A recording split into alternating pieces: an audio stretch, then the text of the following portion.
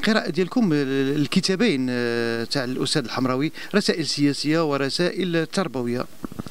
اولا تحية للمشاهدين الكرام ولمتتبعي محمديه بريس نحن سعداء اليوم أن نتواجد في كلية الحقوق لتقديم كتاب رسائل تربوية للصديق الزميل شعيب حمراوي. فعلا مسار الكتابة عند بوشعيب حمراوي بدأ بكتاب رسائل سياسية.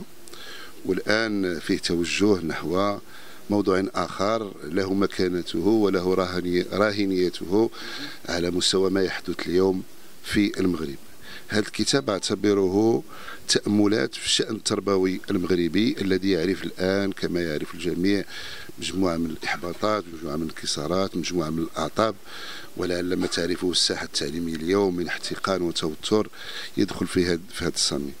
بشعيب حمراوي آه، انطلق من تجربتي أولا كرجل تعليم ومن آه، كونه كصحفي ليلتقط مجموعة من الظواهر المرضية داخل المدرسة العمومية. وأعتقد أن هذه الرسائل ستجد من يتفاعل معها بحكم أن عدد كبير من المغاربة يكتوون بهذه الظواهر المرضية اللي الاساسي فيها أنه تكلم عن الهدر المدرسي تكلم على غياب الصحة المدرسية تكلم على انعدام الثقة اليوم. انعدام وهذا اساسي ومهم في الكتاب انعدام الثقة في المدرسة العمومية. وطرح أسئلة اللي هي مؤرقة ومحرجة. من المسؤول عن هذه الوضع؟ من أوصلنا إلى هذا المستوى الذي انعدمت فيه الثقة في المدرسة العمومية وانعدم فيه أيضا الوضع الاعتباري لرجل التعليم اذا هذه الأسئلة هل ستجد طريقها إلى إجابات أم أنها ستبقى فقط مجرد؟ أعتقد أن أن المنطلق الصح شكرا. أنا أعتقد أن المنطلق الصحفي حاضر في هذا الكتاب. المهم عنده شعيب حمراء بانه يثير الأسئلة ويثير القلق والأجوبة تبقى مفتوحة على من يهمهم الأمر.